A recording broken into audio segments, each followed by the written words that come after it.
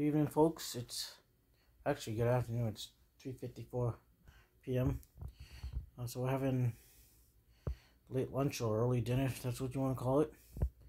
Uh, turkey and cheese sub from Market Basket, guys. Is it right there? I removed the lettuce, guys, as you can see. I'm not crazy about lettuce. It tastes better to me. It tastes better without the lettuce. But tomatoes I like. It's got a, I don't know what kind of cheese it's got.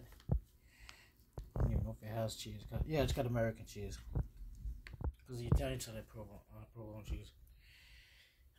and this was four ninety nine, whereas the Italian sub was five twenty nine, so it's thirty cents cheaper.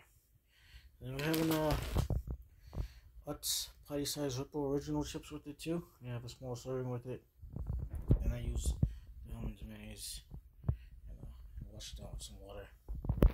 That'll be my dinner for tonight, guys.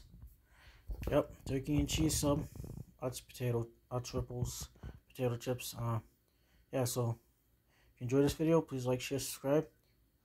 And I'll have another video for you tomorrow. Thank you. Bye-bye.